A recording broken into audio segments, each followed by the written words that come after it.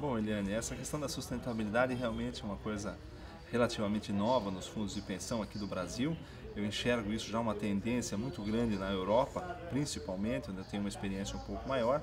Mas a sustentabilidade, para mim, ela passa por algumas outras é, áreas. Não, hoje discutimos muito, de forma interessante, a parte ecológica, discutimos muito ah, a questão de outras ações dos fundos de pensão e eu justamente tenho também essa, essa linha de atuação. O fundo de pensão na área de investimentos ele pode se utilizar dos seus mecanismos para garantir que os gestores também sejam sustentáveis, vamos chamar assim, tanto na sua parte de um investimento correto como nas suas ações éticas.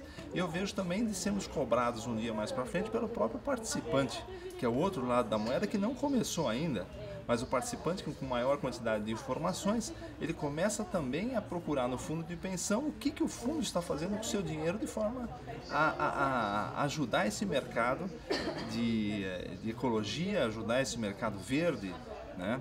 Passando por isso também, eu enxergo outras situações. O papel do investimento do fundo de pensão, do administrador dos investimentos do fundo de pensão, de verificar realmente a ética dos investimentos. Se eu estou investindo em empresas que têm é, situações ligadas ao mercado do trabalho escravo, se eu tenho empresas que têm. Isso porque essas informações muitas vezes são públicas, elas têm que ser coletadas e ser simplesmente agora colocadas em prática.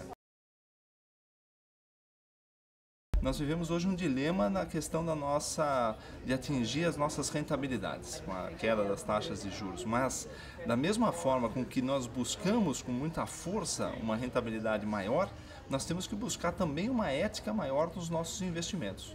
Esse eu acho que é o principal ponto. E na ética, na moral, nós vamos encontrar dentro os principais princípios de sustentabilidade que tem que ser aplicado não só aos fundos de pensão, mas a todos nós brasileiros no nosso dia a dia.